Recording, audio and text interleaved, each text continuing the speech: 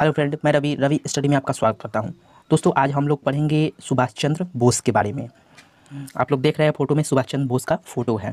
तो आइए शुरू करते हैं सुभाष चंद्र सुभाष चंद्र बोस के समान जैसा कोई दूसरा व्यक्ति नहीं है। एक महान सेनापति थे। ये वीर सैनिक थे, राजनीतिक के अद्भुत खिलाड़ी थे। और इनके बारे में जितना कहा जाए, उतना कम है। तो चलिए आइए हम एक एक कर कर इनके बारे में पढ़ते हैं। सुभाष चंद्र बोस का जन्म 23 जनवरी अठारह ईस्वी को हुआ था। कहाँ पे हुआ था?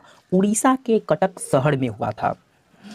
इनके पिता का नाम जानकी नाथ बोस था। जानकी नाथ बोस जो कि कटक शहर के मशहूर एक वकील थे। क्या थे? वकील थे। कटक शहर के एक मशहूर वकील थे। माता का नाम प्रभावती था। प्रभावती और जानकी नाथ बोस। जानकी नाथ बोस उनके पिताजी है सुभाष चंद्र बोस का। इनको कुल मिलाकर चौदह संतान थे। कितने थे? चौदह संतान थे। और जिनमें से छः बेटियाँ थी। छः बेटियाँ। छः बेटियाँ थी और आठ बेटे थे। आठ बेटे थे। ठीक है दोस्तों? और सुभाष चंद्र बोस नौवीं पुत्र थे। सुभाष चंद्र बोस उसमें से कितने पुत्र हैं? नौवीं नंबर के पुत्र थे सुभाष चंद्र बोस चौदह में से। और पाँचवें बेटे पाँचवें बेटे थे। नौवीं नंबर के पुत्र थे, चौदह में से नौवीं के पुत्र थे और पाँचवें नंबर के वे बेटे थे। ठीक है दोस्तों?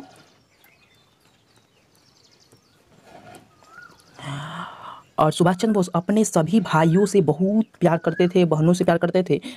लेकिन सबसे ज़्यादा अधिक लगाव सहद चंद्र से था। सहद चंद्र उनके भाई थे। ठीक है दोस्तों? और सुभाष चंद्र बोस, जो कि बीए ये हुए थे 1913 ईस्वी में अपनी कॉलेज शिक्षा की शुरुआती कलकत्ता के प्रेसिडेंटी कॉलेज से में दाखिल किया। 1915 में उन्होंने इंटर की परीक्षा में फ़र्स्ट किया था। ठीक है दोस्तों?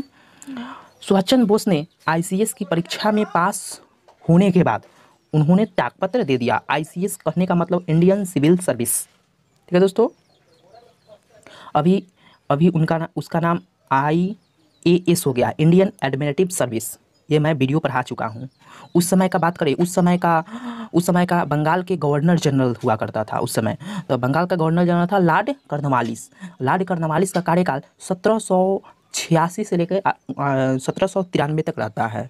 और इन्हीं के समय समय में लॉर्ड कर्नवालिस के समय में सुभाष चंद्र बोस आईसीएस की परीक्षा पास करते हैं और त्यागपत्र दे देते हैं।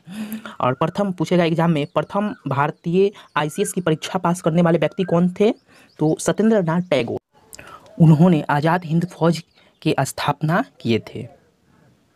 आज़ाद हिंद फौज के रूप में उन्हें जाना जाता है। आज़ाद हिंद फौज का गठन अगस्त 1942 में हुआ था। ये भी बात आपको ध्यान में रखना है। नेताजी सुभाष चंद्र बोस आज़ाद हिंद फौज के साथ साथ चार जुलाई 1944 को बर्मा पहुँचते हैं और यहीं पर उन, उन्होंने अपना एक प्रसिद्ध नारा दिया था तुम मुझे खून दो मैं तुम्हें आज़ादी दूँगा। ये आप लोग जानते हैं। कौन दिया था नारा? सुभाष चंद्र बोस ने। ठीक है दोस्तों? तुम मुझे खून दो मैं तुम्हें आज़ादी दूँगा। किसने कहा था? सुभाष चंद्र बोस ने। दोस्तों, इसके बाद हम लोग जब मॉडर्न हिस्ट्री पढ़ेंगे तो वहाँ पे सुभाष चंद्र बोस के बारे में मैं डिटेल में बताऊँगा। बस आप लोगों का काम है साथ देने का। हमारे साथ आप लोग चलिए, विश्वास कीजिए कि आप लोग ज़रूर सफल होंगे। जी दोस्तों, अचानक से 18 अगस्त 1945 को सुभाष चंद्र बोस की मृत्यु हो जाती है। जीवन और मृत्यु आज तक सुभाष चंद्र बोस का अनसुलझा रहस्य बनकर रह गया। कोई कहता है कि 18 अगस्त 1945 को जापानी विमान के दुर्घटनाग्रस्त से अपने स्वर को सिधार गए। कोई कहता है अंग्रेज़ों ने उनको गोली से मार दिया। कोई कहता है अलग अलग मान की अलग अलग टिप्पणियाँ आते हैं। अभी तक इसका क्लियर नहीं हुआ है। नेक्स्ट मैं वीडियो पंडित जवाहरलाल नेहरू पर बनाऊँगा। तो दोस्तों, ये वीडियो कैसा लगा? हमको ज़रूर कमेंट में कहिएगा। अगर दोस्तों मेरे चैनल पर नए हैं तो सब्सक्राइब कर ले लाइक कर दें। चाहिए दोस्तों बहुत बहुत धन्यवाद। Thank you thank you so much